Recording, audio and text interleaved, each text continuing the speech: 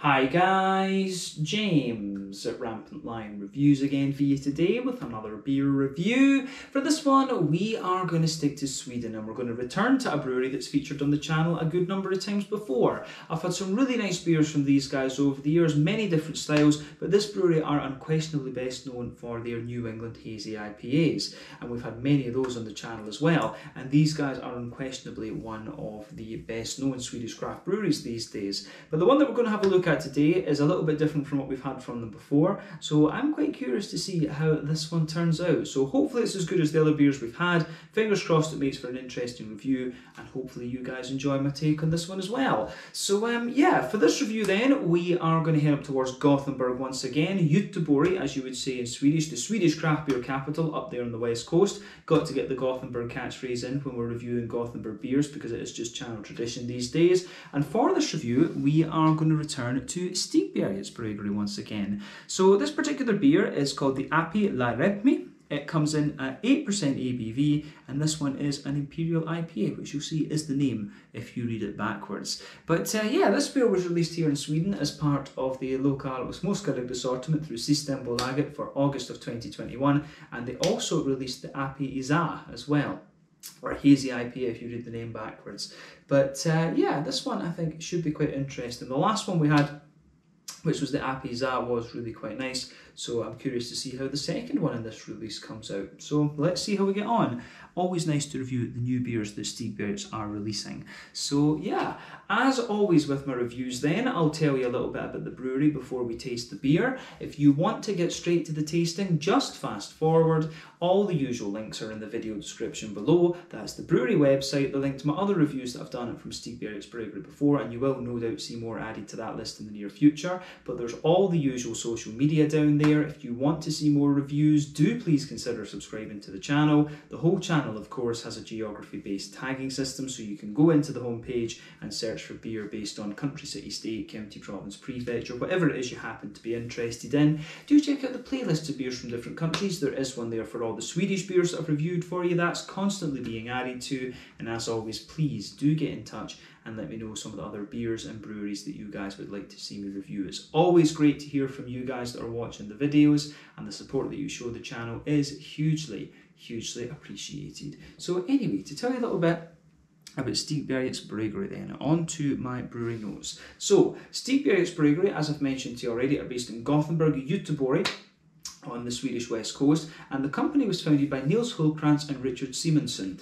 Now, these two guys own two bars that share the one kitchen. This is Bar Kino and Hagabion's Cafe, which can be found on Linnegatan in the city, and they opened back in 2007. And the building in which they're located is actually an independent cinema. And I didn't realise this until I actually went to visit it. And if you're curious to see it, you can check out my out and about video that I did back in October of 2019. But originally, the idea was to brew a few beers that they could sell in the bars, and this led to them kegging the beer and then selling it to other pubs, and eventually to bottling the beers, which began in November of 2014. The original beers that they were producing, though, were mainly English and German styles, but of course they really started to make their name when they expanded into the more hoppy American beer styles. But the original head brewer was Ole Anderson, and he is also one of the co-owners of OO Brewing, with whom he is now uh, involved full time. He's been involved with them them full time since April of 2017, but he was the creator of the Amazing Haze.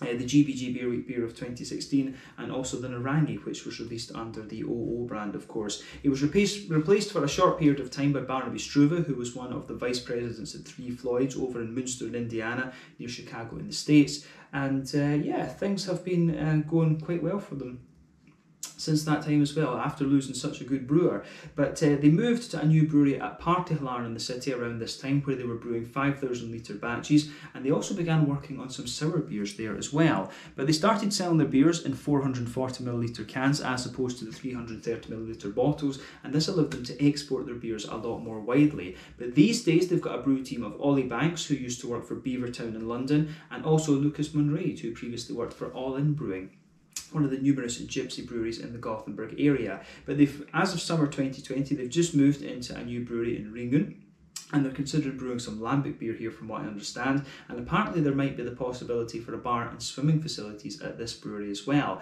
But they opened up a bar in Stockholm earlier in 2020 and they also opened up their own folköl shop in Gothenburg as well. For those of you who don't know in Sweden folköl is anything that is 3.5% and below that can be sold in supermarkets and regular shops. Anything above 3.5% has to go through Systembolaget which is the state owned monopoly. But as of August 2021 when I'm filming this review for you these guys have produced 140 different kinds of beer and uh, they do, you know, there's a lot of really good things from them. I've had some really nice imperial stouts. I've had some barley wines. You know, we've had a lot of New England hazy IPAs from them. So if you get the chance to try some of the Stigbergets beers, you will certainly not be disappointed with these. So um, yeah, I think that is everything we need to say about Stigbergets for the moment. So uh, if you want to learn more about this brewery, you can of course check out the brewery website. You can follow them on Facebook and Instagram to keep up to date with all the latest goings on, and you can check out the Rate Beer, Untappd, and Beer Advocate pages to learn a little bit more about all the different beers that these guys have done. So um, yeah, let's crack on then and have a taste of the beer.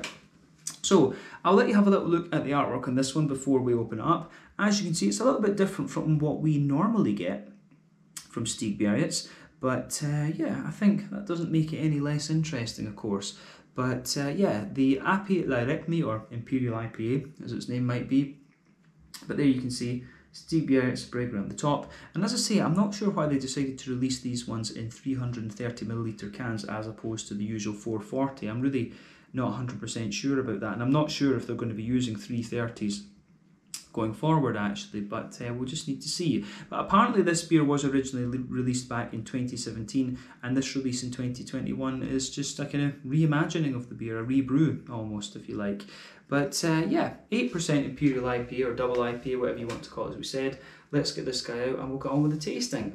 I think I paid 40 Swedish kroner for this one, if memory serves me correctly. So that translates to 4 euros, 3 pounds about £3.50 sterling, and I guess somewhere in the region of $4.50 American, maybe $4.75, just to give those of you watching in different places an idea of the, uh, the price of this beer. So uh, yeah, this I think should be quite interesting. But uh, yeah, there we go. So anyway, um, as you can see, this beer is poured pretty much as you would expect from a modern imperial uh, IPA. It's certainly a New England, there's no doubt in my mind about that. But um, yeah, it's supposed to be all organic, this one as well. I forgot to mention that. But yeah, before the head disappears on this beer then, you can see there is a solid half finger of a frothy, I would say slightly creamy coloured head. It doesn't look like a perfect white head.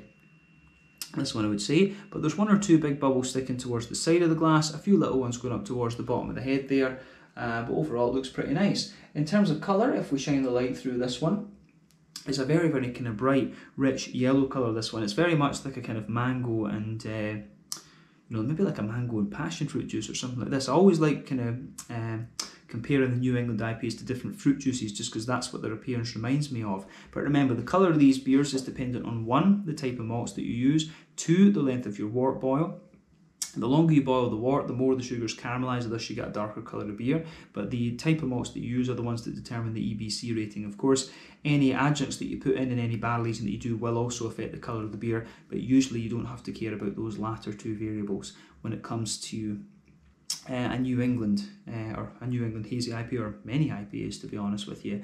But uh, yeah, certainly looks the part of a hazy New England IPA. There's no doubt in my mind about that. But the level of haze on this one is pretty damn impressive, even by Steep Stigberget standards. This is one of the hazier ones, the superior and gloopier ones, I should say, that I've seen from them over the last little while. So uh, yeah, remember the haze in these beers depends on the uh, wheat and the oak content and also the yeast to a certain extent as well. So um, yeah, worth bearing that in mind when you think about these beers. But overall, nothing particularly surprising about the appearance of this one when we consider what style it is. But I think it's about time that we take a look at the aroma then. So let's go for it.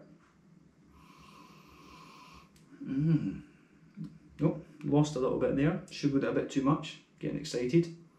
But uh, yeah, aroma wise, again, it's pretty much what you'd expect. So, my first impression of this beer is that it's got a little bit of bite to it. This one, it actually has I feel a little bit of um, I'm, I'm getting a little bit of a kind of wheaty pungency out of this one, which is kind of interesting. Now, as I've said in previous reviews, when it comes to these New England hazy IPAs, for me, there's six different directions you can take this style in. You know, they can be more farmhousey and uh, more farmhousey and, and sort of yeasty. They can be rye and grainy, wheaty and bitey, oaty and creamy, barley malt leaning and bready, or they can be kind of big and sweet and brown sugary. But uh, yeah, the aroma that comes out of this one, I think, is um, actually very, very nice. So, yeah, I think it's uh, it works. You know, it does work very, very nicely. But the um, the yeah, the aroma that comes out of this, I think, is pretty damn nice actually. So it gets it certainly gets a thumbs up from me. This one, that's for sure. But um, yeah, it's it's got a nice bit of just pungency underneath to it. It's got a big malt base to it, this one, which I do like. So um, yeah, let's try and break that down for you. But my first impression of this one is, is that it's got quite a big tropical fruit note to it. At the same time, it's very, very smooth and has a wee bit of citrusy character to it. But this is quite a big, bold and slightly, um, you know, slightly kind of, um, you know, kind of pungent uh, New England IPA, uh, New England hazy IPA, which I can certainly appreciate. So uh, yeah, a few bits of uh, food for thought here with this beer, I have to say. So on the, um, as we say, on the um, on the malty side of things, then just to break it down. So at the backbone of this beer, you can definitely smell a nice kind of fresh white bready uh, note out of this beer. There's no doubt in my mind about that. You can certainly smell some of that nice fresh barley malt in there, but you can also feel a little bit of a kind of wheaty, um, a little bit of that kind of floury, bread crusty character in there as well, for, for sure. But on top of that, you've got a nice, um, on top of that, you've got a nice big uh, kind of wheaty um, thickness to it as well. And at the back of the nose, you certainly get a little bit more of that kind of wheaty bite, if you like which you should always look out for. But yeah, the oaty notes that you get in this one are also quite nice. You almost get a little bit of sweetness and smoothness from the oats, and I certainly get a wee bit of a kind of like Werther's original um, kind of butter candy sort of thing out of this. And when the beer is 8%, that's kind of to be expected. That's usually the boozy aspects of the um, that's usually the boozy aspects of the uh, of the beer coming out. But uh, yeah, the malty side of this one is pretty much what you'd expect, but I find this one to be quite wheaty and quite pungent in a sense. So, um, yeah, the aroma that comes out of this one I think is very, very nice in that sense. But on the um, the hoppy side of things then, so back corners of the palate, um, why am I saying back corners of the palate? The back of the nose oh man, this is what happens when you film beer reviews tired. But uh, yeah, at the back of the nose with this one, you certainly get a wee touch of earthiness out of it, but I think the green component in this beer really leans towards that big floral aromatic sort of thing, and I do really like how that um, how that goes together in this one. It gets a big thumbs up from me in um, in that regard actually. So yeah, big fruity juicy component to this beer as well, just kind of moistening up the hops if you like. But yeah, I find that this one has a big, slightly, I wouldn't say spicy, I'd just say like a really pungent floral aromatic character. And again, I really like, I do like how this beer goes about its business in that particular regard. So yeah, the aroma that comes out of this one, I think, is um, is pretty damn nice actually. So yeah gets a thumbs up from me there. But on the um, the front of the nose, you certainly get a nice bit of a big zesty kind of grassy character to it, and there's a lot of juicy kind of tropical um, fruit out of the beer too. So um, on that fruity side of things, then there's a nice little bit of a kind of pungent passion fruit in there. There's a big oily kind of mango character. Um, so yeah, there's a big oil. Yeah, there's a big oily sort of mangoey note to it, as we say. Um, I do wonder if this is maybe like a bit of galaxy or something that's in here. Maybe galaxy and citra and mosaic and something like that. I think it's. I think there's three hops in this, and I've got a feeling just there's just something about experience with this tells me it could be Galaxy, a little bit of Citra, and a wee bit of uh, Mosaic. Got a feeling about this. But yeah, you certainly got a nice little bit of a kind of pungent passion fruit out of it, but there's a big kind of juicy, slightly oily mango in there, a little bit of apricot underneath, and some kind of pineapple notes as well. But uh, I certainly get a little bit of a kind of oily tangerine character out this one too. But there is quite a bit of zestiness there, like a little bit of a slightly lemon lime thing mixing in with the kind of more pungent grassy esters. So yeah, the the kind of fruity side of this beer is quite nice and oily and juicy, and it's got a good balance between the kind of more tropical and citrusy fruits. So yeah, just pay attention to that aroma before you get stuck into it. I think that's always half the experience when it comes to these craft beers is just you know taking in the aroma a little bit. But um, yeah, let's see how we get on with this one then. I'm very very curious to see what this beer has in store for us. So um, yeah, let's have a taste of this one then and see how we go. So this one is the Ape Lairepme Imperial IPA. Got it wrong in the last video and felt like an absolute dumbass. I didn't realise that these beers, it's just the name spelled backwards. But uh, yeah, an 8% Imperial IPA, double IPA, whatever you want to call it, New England Hazy from uh, Stigbergets Brewery in Gothenburg up on the Swedish west coast. Let's get stuck into this one. Slàinte, Skål, cheers.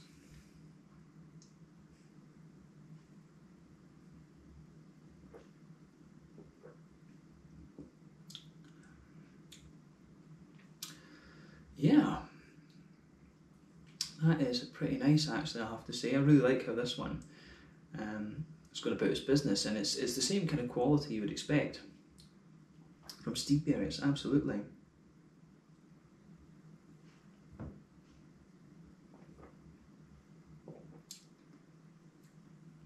So, I mean, the question that's in my mind is um, you know, the question that's in my mind is how do we, um, you know, is, the, is this a little bit different? I mean, the mouthfeel comes across as a little bit different, and the way that some of the grainy characters in this beer are coming out is a little bit different. And I've always found this with organic grains, they almost just have a little bit more of a slightly chalky mouthfeel to them, if that makes sense. So, yeah.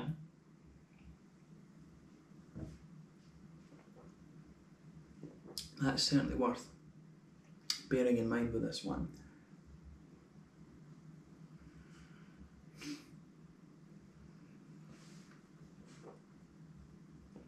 Um, but yeah, that um, overall, this beer again, it's really solid and really drinkable for me. So it gets a thumbs up. Yeah, it gets a it gets a thumbs up from me for sure.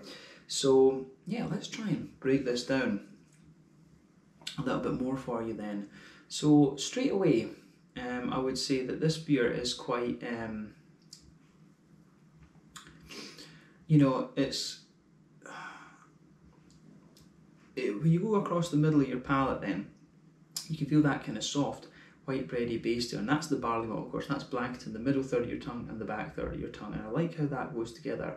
And um, when you go further into the aftertaste, you can feel there's a little bit of a kind of, you know, that sort of flowery uh, kind of thing. You get a little bit, like it's almost like you've got a fresh, uh, one of these fresh loaves of bread that you've just picked up from the baker's and there's a wee bit of flour left underneath. That's what you kind of get in this one. But sitting on top of that, you can feel the wheat, and the wheat is quite smooth, but it's thickening out the beer uh, all the way. So baseline, baseline of the beer, soft white bready note, thicker wheaty notes on top of it, and that's the middle third and the back third of your palate. But let's focus on the middle third of the palate for just now. So at either end of that middle third of your palate, you've got a wee bit more of a kind of, you've got a little bit more of a kind of bread crusty element to it. So again, pardon me, I can uh, appreciate I can appreciate how that comes out. I do like having a wee bit of a bread crusty note there. You will feel a wee bit more graininess coming out of this beer the further that you go into it. But on top of the wheat, you can feel a little bit of a slightly smoother oaty note in there. But the, the thing that's interesting with this is that the wheat and the oat kind of blend together really well. There. It's actually very difficult to you know separate those layers if you like. But I'm pretty sure does have both in it. Let me just check on this. So yeah, barley, oats and wheat in this one. So yeah, I did wonder if it might have just been um, a slightly smoother wheat, but no, it has all three in them. Um, so yeah, it's it's just interesting. That's maybe another thing if they've got organic oats and organic wheat in this, but they blend together really, really well in this beer. Now, if we focus on that middle third of the palate as well, it's interesting because I don't get as much of a kind of Werther's original brown sugary sort of thing out of it as I'd kind of mentioned before. So that's really interesting.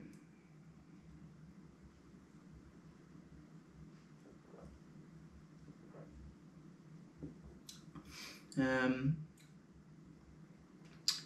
but yeah, the you do get a little touch. You know, the further you go into the aftertaste, you can feel a little bit of the kind of Werther's original. You can feel a little bit of the kind of Werther's original butter candy, butterscotchy kind of thing uh, coming out of it. There's a wee bit of a sweet caramel on the very middle of your tongue. Um, so there's a wee bit of a kind of, as I say, a wee bit of a kind of concentrate sweet caramel in the middle of the tongue, but it's quite minimal. It's like a little tiny circle actually. But then as you move further out from that, you get a little bit more of a kind of Werther's original type uh, quality with this one.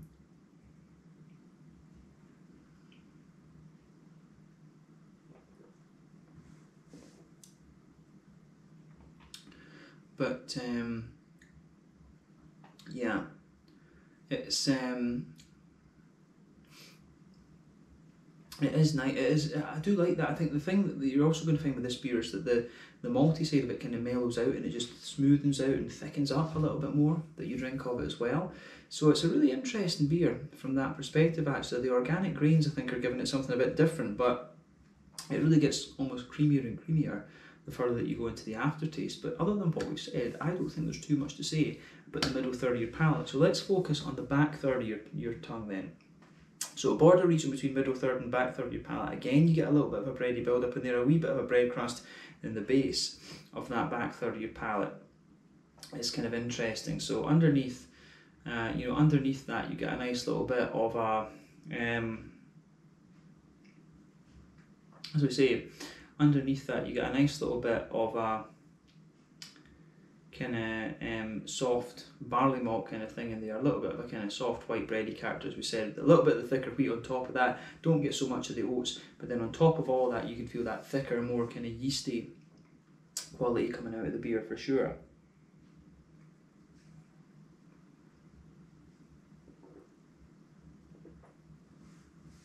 So on top of all of that, um, you know, in that kind of yeasty note there, what you'll feel is that on the back third of your palate, the flavour's taller.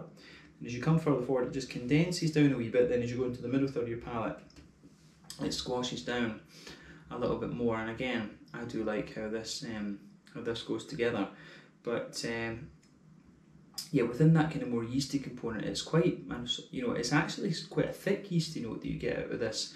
And I don't know if that's maybe due to the organic grains. It, it actually, I'm, what I'm finding in this beer is that the yeast and you know the different layers of the malt base they really blend together very very well. Actually, it's very difficult to get the same kind of levels of separation in this beer that you'd find in a sort of non-organic beer actually, which is then that's that's kind of interesting. So yeah, just bear that in mind when you think about this one. But I think that's all we need to say about the kind of malty and yeasty side of the beer, the middle third and the back third of your palate at least. But uh, yeah, on the uh, hoppy side of things then, let's look at that. But yeah, back corners of the palate, you've got a nice little bit of, uh, of earthiness in there. As you move further forward, it gets a little bit more kind of, you can feel there's quite a nice big green component to this one. It's actually got a wee bit of dankness to it, this beer as well, which is kind of interesting. Um, so there are a few kind of almost piney resiny notes underneath it. But as you move further forward, the floral aromatic notes and the big floral, um, as we say, the big floral aromaticity coming out of this one really is great. But then round the front curve of the palate, it's certainly brighter and uh, it's certainly brighter and more um, kind of grassy in a sense. So I like how that goes together.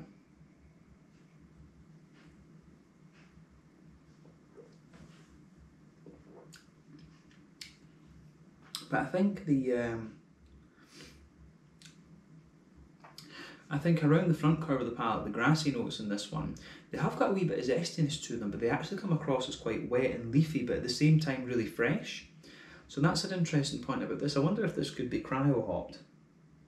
I'm not 100% sure, but I do wonder if it's more, if it is kind of cryo hop because it's just got that lovely the oiliness in this beer as well is very smooth. Um, yeah, but the, well, that grassy character, as I say, it's just very very smooth, uh, and that's the whole vibe of this beer. It's just how smooth and sort of slick and oily it is actually. So quite a few bits of food for thought in this review. That's for that's for sure.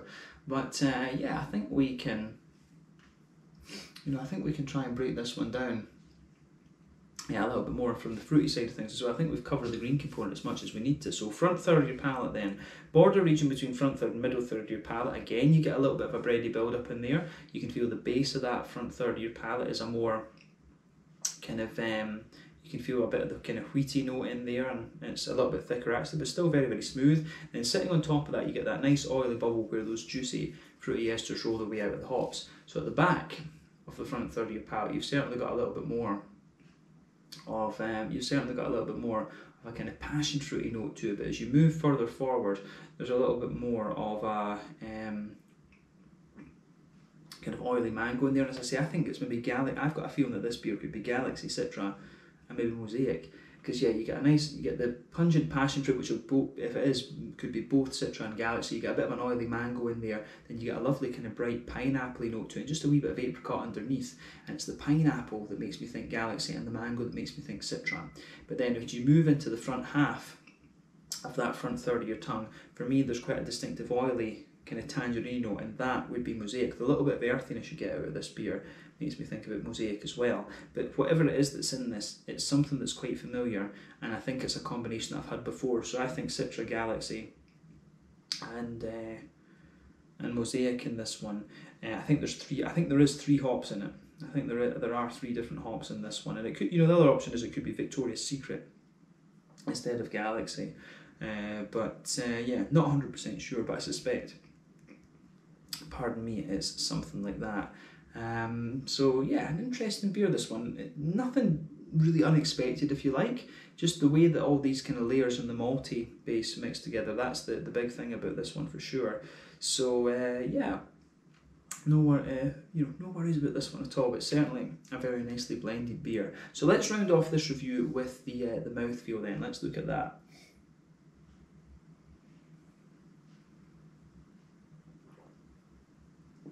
So in terms of the um, how do we say in terms of the the mouthfeel of this one then I'd say uh, took a few drops down the wrong the wrong tube there.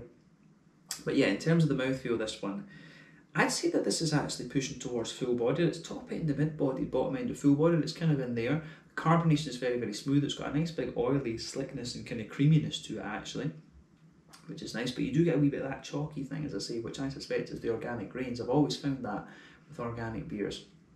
But yeah, hoppy bitterness, I think this one, I think this one's a bit more, I think this has got about 50-ish IBUs. It really does get a little bit more bitter further that you go into the aftertaste. But like we said, the malt base is really smooth, but still quite thick, and there's a slight degree of sweetness to it. Then you've got some nice, big, oily, juicy, fruity characters to this one as well. But um, yeah, the way it goes together, I think, is um, is very very nice. So again, it gets a big thumbs up from me. So uh, yeah, the fruity juicy side of this one, it certainly is quite nice. And I think this is whatever hop combination they've used in this, it is certainly something that's uh, quite familiar. It's very difficult to play guess the hops these days with all the different hops that are out there. But uh, yeah, I think we can. Um, leave it at that for this one. So uh, yeah, this one was the Api Lairepme, or Imperial IPA to change the name around, coming in at 8% ABV from Stigbergets Brewery up in Gothenburg. And uh, this one is supposed to be an all organic IPA, so interesting, a few interesting points to take away from this one. But uh, yeah, once again, thank you for watching my beer reviews. Until the next time, please like, subscribe, share, all the usual YouTube stuff. Let me know your own thoughts on this beer in the comment section below. Let me know what your favourite beers are from Stigbergets, and we will no doubt return to these guys at some point in the very near future. But until the next time, Slàinte, Skål, and I will catch you guys soon. Check out my social media, check out their social media, and I'm sure we'll review another Stigbergets beer at some point very soon. Slàinte, Skål, and cheers.